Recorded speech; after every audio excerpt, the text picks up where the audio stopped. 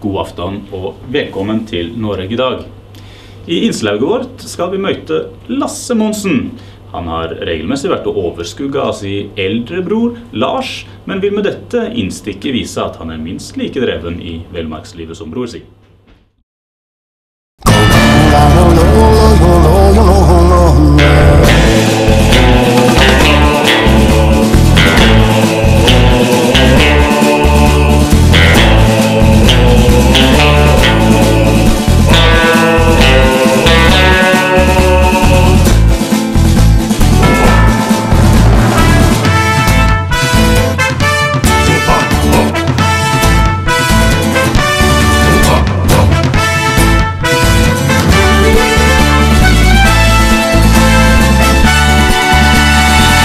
Når du skal ut på en 100-dagers marsj, sånn som jeg skal nå, så er det noen ting som er veldig viktig å pakke. Her har jeg tatt fram de viktigste tingene jeg har i sekken. I bånn, nonstop. Eh, beste føden du kan få. Der har du alt det du trenger eh, av næring. Her har du bare grønt og rødt. Så, venter du, pakker jeg kamfer. Nødgjørsel, tilfelle jeg går tom for, eh, tom for nonstop. Jeg har alltid med meg et, eh, sverd. Sånt et. Eh, det tar jeg med for å skremme vekk bjørn og for å forsvare meg selv. Det er godt, eh, viktig med et godt telt, sånn eh, nå med høsten. Så jeg skal ikke sove ute, for å si det sånn. Ha med meg ordbøker.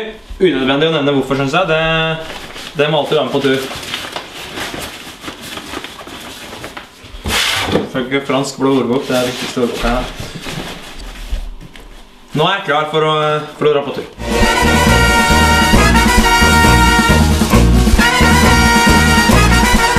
Jeg er fryktelig glad i, fryktelig glad i hundene mine. Eh, spesielt har jeg alltid med meg, Stål når jeg drar på, drar på tur. Og en kjempesterk bikkje som eh, alltid drar meg helt fram. Ja, da er vi klar for første etappe av turen. Da er vi Jeg har med hundene nå, så da er det bare å eh, å sette i gang, tror jeg. Det er veldig viktig med hundekjøring for å spare krefter og sånn, så jeg tror bare vi kjører i gang. Ja. Jævla kaldt. Kom igjen, Stål. Dra på. Kom igjen. Ja, vi skal dra igjen. Vi går, eh, vi går nordover, Stål. Kom igjen. Ja, kom igjen. Jepp. Stål, kom igjen. Ja, ja.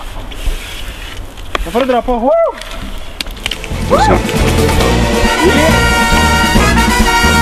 Kom igjen, da. Yeah. Ja, Som jeg sa, så er det mye rovdyr ute om natta og viktig å holde de unna. Men har også møtt på en del rovdyr om, dagen, faktisk.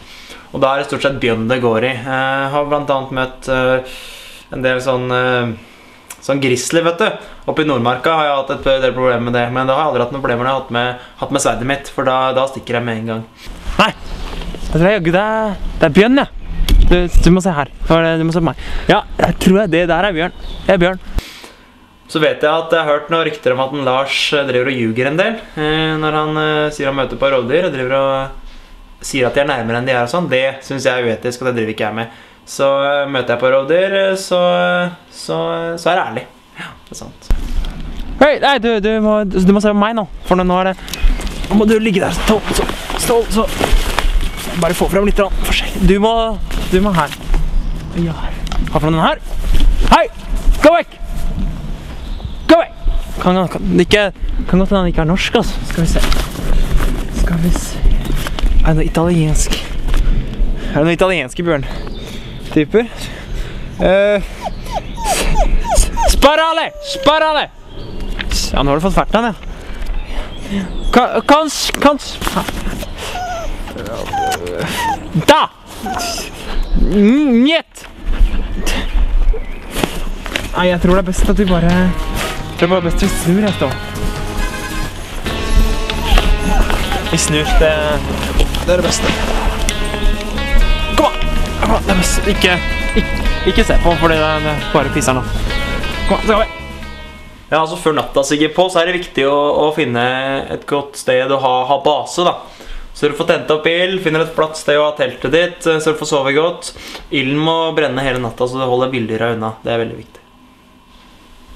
Sånn, han har funnet et flott sted, både for å sette opp bål, sette opp telt og fiske. Og det er det vi skal gjøre først.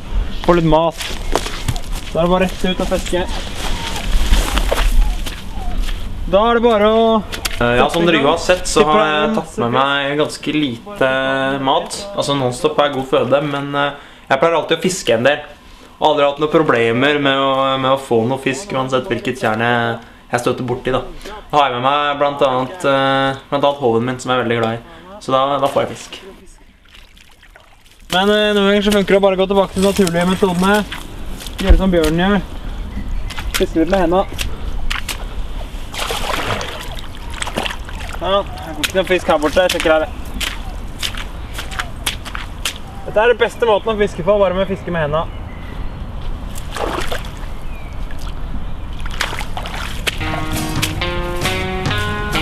Så jævlig glad i fisk, jeg, så prøver å droppe litt. Og ut eh, teltsaka. Dette har jeg gjort tusenvis av ganger, så dette skal ikke bli noe problem. Så er det bare å det er egentlig bare å sette opp, sette opp teltet, rett og slett.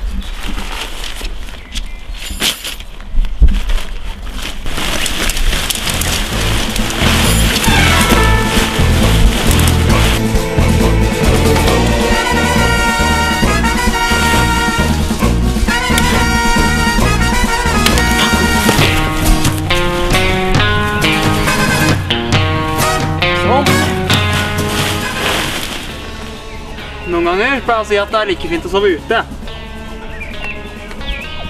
Ikke ha fiskeløkka på din side, så er det best å Hvis det er en proviant, og nå er jeg glad for at jeg tok med proviant. Egentlig burde jeg ikke stå så nærme kanten. For det er faktisk en fare for krokodiller. Men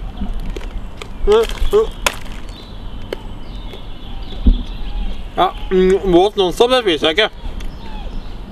Selv om den posen var nesten full.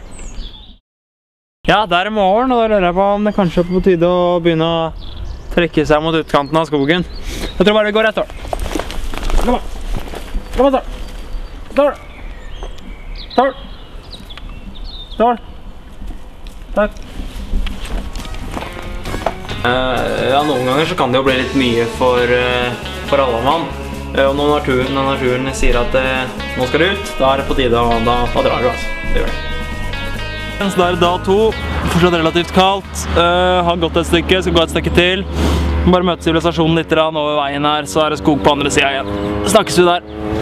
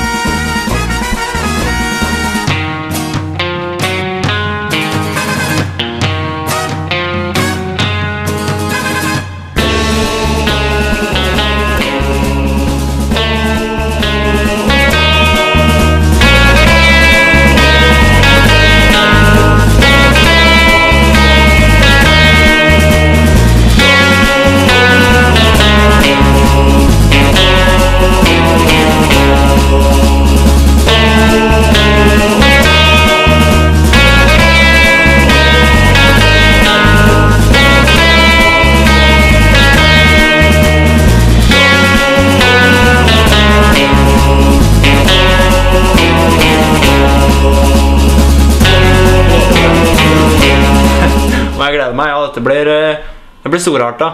Jeg er aldri, aldri redd før jeg drar på tur. Eh, Jeg tror det blir en eh, kjempesuksess, både serien og, og selve turen for meg. Så jeg gleder meg. ja.